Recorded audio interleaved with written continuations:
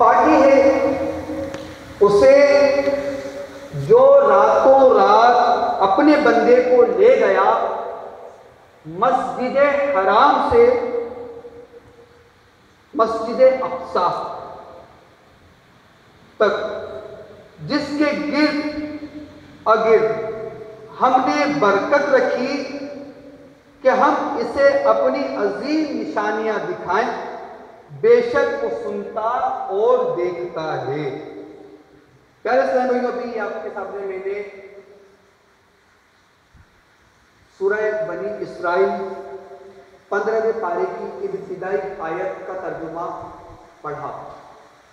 प्यारे साहब भाइयों, अब इस तर्जुमे की तफसीर हज़रत हज़रत फाजिल मौलाना सैयद मुफ्ती मोहम्मद नईमुद्दीन मुराद आबादी। ख़जाइन इरफान। में इस आयत करीमा के तहत फरमाते हैं। अभी तर्जुमा हमने अभी सुना। ठीक है?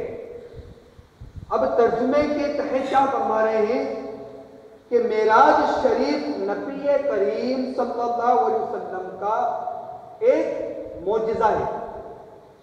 और अल्लाह की अजीम नेमत है।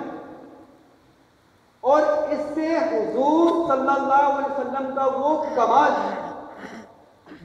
कमाल कुर्ब ज़ाहिर होता है जो मखलूक इलाही ने आपके सिवा किसी को भी मयसर नहीं आया। मेराज शरीफ बाहालत बेदारी, जिस्म और रूह दोनों के साथ वाक़ हुई यही अक्सर अहले इस्लाम का कीदा है। क्या कीदा है कि मेराज की रात, हमारे आका ने सलाम को जो मेराज अता हुई, वो ख्वाब में आप ख्वाब में अता नहीं हुई। जिसम और रूह दोनों के साथ बनफ से नफीस अता की गई। ठीक है ना? बाज़ जहनों में वो से आते हैं या कोई हम सुन लेते तो यार कि सरकार ख्वाब में गए, ये तो हो ही नहीं सकता। तो इसलिए अहले इस्लाम का अक्सर यही अकीदा है और यही हमारा अकीदा यही साहबा राम का अकीदा था। तो हमारा अकीदा क्या है कि मेराज तो अटा हुई, लेकिन ख्वाब में नहीं, बल्कि जिस्म और रूह दोनों के साथ जाग की हालत में अल्लाह ने अपने महबूब को मेराज अटा किया। ठीक है? तो इंशाल्लाह आज हमें ये अकीदा भी हमें सीखने को मिला। मिला नहीं मिला? अलहमदिल्ला हमारे अकीदे पर इस्तेकामत अता फरमाए। मीठे मीठे और प्यारे प्यारे इस्लामी भाई। अल्लाह ने आज की रात इस अजीम वाक्य को कुरान पाक में सुबहान से शुरू किया। जब हम पंद्रहवा पारा शुरू करते हैं तो पहला लफ्ज सुबहान आता है। सुबहान। तो ये अल्लाह का नाम है। अल्लाह का एक नाम है सुबहान।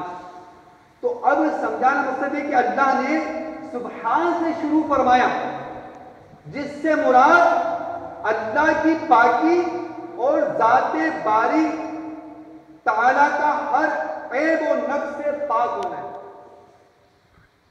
इसमें हिकमत यह है कि मेराज जिस्मानी की बिना पर मुनकरी जो इनकार करते हैं, जो मानते नहीं, जो तस्लीम नहीं करते, कि नहीं यार, मेराज की रात जो है ख्वाब में हुई थी है मेराज तो हुई है मेराज रात में हुई, कोई बोलता हुई नहीं, कोई कोई मानता है तो मुतफाक नहीं तो इस तरह फरमाया गया कि जो मुनकरी ने उनकी तरफ़ से जिस कदर एतराजात हो सकते थे, इन सब का जवाब हो जाए।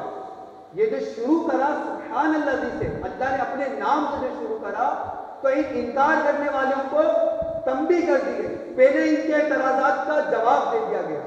क्या? मसलन, हुजूर नबी करीम सल्लल्लाहु अलैहि वसल्लम का जिसमें अकदस के साथ बैतुल मुकद्दस, या आसमानों पर तशरीफ़ ले जाना, और वहाँ से सुम्मा जना फतुल्ला यानी कुर्ब खुदाबंदी की मंजिल तक पहुंचकर थोड़ी सी देर में वापस तशरीफ़ ले आना मुनकरीन के नज़दीक नामुमकिन था। कैसे होगा? ये कैसे होगा? ये कैसे हो सकता है? तो जब ये बताया गया तो मुनकरीन के नज़दीक ये मुश्किल तरीन हो गया, नामुमकिन सा हो गया, मुहाल हो गया। तो अल्लाह ताला ने लफ्ज सुबहान फरमाकर ये ज़ाहिर फरमा दिया कि ये तमाम काम मेरे लिए भी नामुमकिन और मुहाल हो तो ये मेरी आजजी और कमज़ोरी होगी। और कमज़ोरी एक ऐब है। और मैं यानी हमारा रब हर ऐब से पाक है। बता दिया गया कि अगर अपने लफ्ज से शुरू कर अब हम बोल रहे कोई ये बोले, बहुत प्यारा मतलब गुण हमें सीखने को मिलता है। हम थोड़ी सी तवज्जो रखें कि अगर खुदा खासा कोई हमें मिलता और हमें बोलता नहीं, मेरा जैसे नहीं, मेरा तो सिर्फ़ इस लफ्ज को समझ लें और इस तर्जमे को समझ लें। तो हमें ज़्यादा बात करने की हमें ज़रूरत ही नहीं पड़ेगी। उलझने की ज़रूरत ही नहीं पड़ेगी। मकसद कौन ले गया? हाल अल्लाह ले गया, बेशक। तो अल्लाह ले गया। अब अल्लाह के लिए कोई चीज़ नामुमकिन है मुसलमान ठीक है ना? अल्लाह के लिए कोई चीज़ नामुमकिन है नहीं है। तो क्या मेरा रब तबारक ताला अपनी कुदरत से क्या ये नहीं कर सकता कि रातों रात इन तमाम मुशाहिदात को हो जाएँगे कर सकता है ना?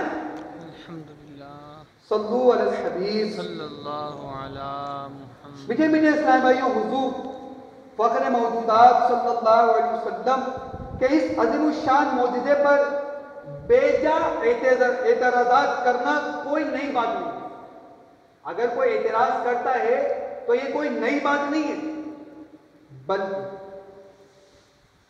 आप सल्लल्लाहु अलैहि वसल्लम के दौरे मुबारक से अब तक बहुत से ना समझ और हकीकत से ना आशना लोगों ने भी इस अजीम शान मोजे का इनकार किया। एक मुसलमान के लिए सिर्फ़ यही काफ़ी है कि इस वाक्य को अकल के तराजू में तोलने के बजाय अल्लाह की ताकत और कुदरत के पेश नज़र रखे, क्योंकि अल्लाह हर चीज़ पर कादिर है।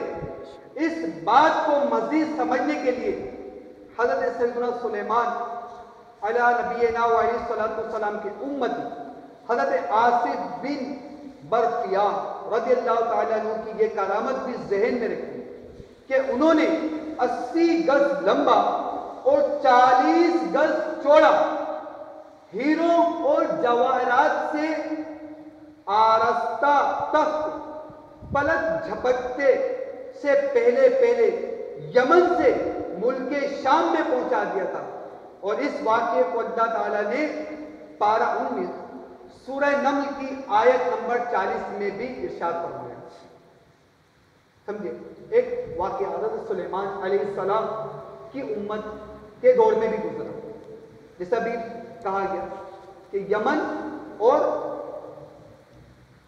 मुल्क शाम दो मुल्क हैं। अब एक इतना चौड़ा, इतना सिर इतना बड़ा और इतना भारी तो सदर सलेमान ने जब दरबार में शाद फरमाया कि कौन इस तख्त को सबसे जल्दी लेकर तो आप के दरबार में मौजूद आपके उम्मती उन्होंने क्या? कि मैं आपकी पलक झपकने से पहले वो यहाँ लेकर आ जाऊँ। अब बताएँ, पलक झपकने में कितना टाइम लगता है? कुछ पता चला ये झपके पता भी नहीं चला। इस पलक झपकने में यमन से मुल्क शाम ले आऊँ और ले लिया तो कैसे लिया? अल्लाह की अदा से अल्लाह की रहमत से। तो प्यारे प्यारे और मीठे मीठे इस्लामी भाई, गौर कीजिए, जब अल्लाह ने हज़रत सैदना सुलेमान सलाम के एक उम्मती को सैकड़ों मील की मुसाफत पर मौजूद इंतहाई वजनी तक पलक झपकने से पहले उठा लाने की ताकत अता फरमाई तो यकीनन वही रब अपनी जाती कुदरत और ताकत से अपने प्यारे हबीब सल्लल्लाहु अलैहि वसल्लम को रात के थोड़े से हिस्से में मकान व मकान की सैर करवाने पर भी कादिर है। अब अल हज़रत फरमाते कि खिरत से कह दो कि सर झुका ले। खिरत, अकल। अकल है ना, अकल कैसे कैसे आ जाएगा? कैसे? खिरत से कह दो कि सर झुका ले। गुमा से गुजरे गुजरने वाले। पड़े हैं यहाँ खुद जहद को ला ले किसे बताएँ किधर गए थे? सुराग एनो मता कहाँ था? निशान कैफो इला कहाँ था? न कोई राही न कोई साथी न संग मंजिल न मरहले थे। सल्लू अलल हबीब। सुनाते मीठे मीठे साए भाइयों हमें भी चाहिए। क्या चाहिए? कि आज की रात के इस अजीम वाक़ मेराज और नबी पाक सल्लल्लाहु अलैहि वसल्लम के दीगर मोजिजात को, दीगर मोजिजात को अकल के तराजू में तोलने के बजाय सच्चे दिल से तस्लीम करें और अपने ईमान की हिफाजत के लिए ऐसे लोगों की सोबत बद से दूर रहिए जो प्यारे आका मोहम्मद मुस्तफ़ा सल्लल्लाहु अलैहि वसल्लम के मोजिजात व कमालात का इनकार करते हैं। और आप सल्लल्लाहु अलैहि वसल्लम की शान में बेअदबियाँ, गुस्ताखियाँ करते हैं। मेरे आका आला हज़रत इमाम सुन्नत फरमाते हैं हक जो बाकी जिसकी करता है सना मरते दम तक उसकी मिदहत कीजिए। जिसका हुस्न अल्लाह को भी भा गया, ऐसे प्यारे से मोहब्बत कीजिए। सल्लू अल हबीब